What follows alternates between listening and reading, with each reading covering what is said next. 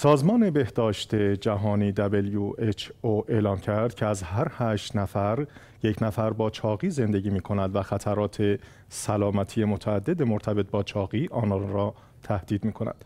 در ادامه همکارم در این زمینه گزارشی تهیه نموده که با هم می بینیم.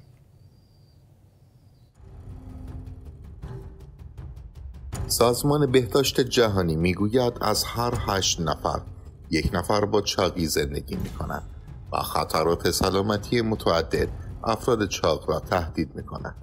سازمان بهداشت جهانی در ادامه می افزاید این بیماری می تواند اثرات مضری بر اندامها و سیستم های حیاتی بدن داشته باشد و بر قلب، کبد، کلیه ها، مفاصل و سیستم تولید مثل تاثیر می‌گذارد. بر اساس یک پژوهش علمی نرخ چاقی در سراسر جهان از سال 1990 تا 2022 به طور قابل توجهی افزایش یافته است. در این دوره نرخ چاقی در 81 درصد کشورها برای زنان و 70 درصد کشورها برای مردان افزایش یافته است. روند سعودی چاقی در میان کودکان نیز مشهود است و با افزایش نرخ چاقی در 70 درصد کشورها برای دختران و 69 درصد برای پسران ثبت شده است.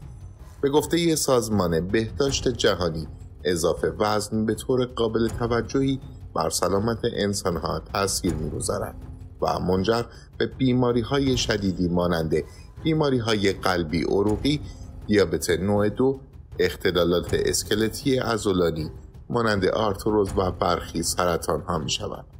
سازمان بهداشت جهانی همچنین تاکید کرد که عدم رعایت مسائل بهداشتی می تواند منجر به مرگ زودرس و ناتوانی قابل توجه شود. خطر مشکلات سلامتی با کمی اضافه وزن شروع می شود و با افزایش وزن افزایش می یابد و باعث رنج طولانی مدت افراد و خانواده ها و متحمل شدن هزینه های بالای مراقبت های بهداشتی می شود. این آژانس سازمان ملل در ادامه گفت که می توان با دستیابی به تعادل انرژی و کالری مصرفی از چاقی جلوگیری کرد و با محدود کردن مصرف چربی، افزایش مصرف میوه ها، سبزیجات، حبوبات، غلات کامل و آجیل و کاهش مصرف قند سلامتی را دوباره بازیافت.